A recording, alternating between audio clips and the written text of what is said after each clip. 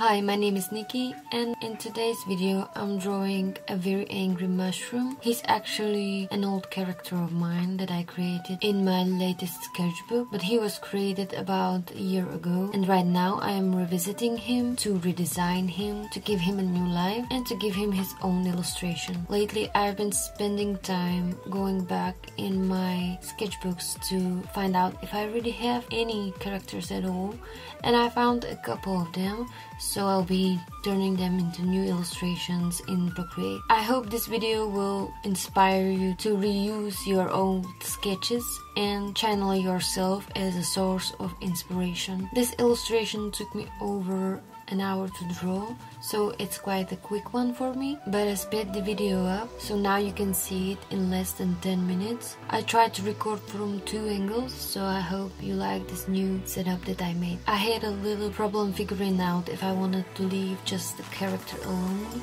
or if I wanted to provide him with a background or scenery to put him in.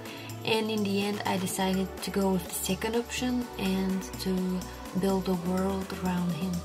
Okay, so right now I will let you watch the time lapse to the end and you can grab some drink or snack or a drawing of your own and you can do that while you watch me.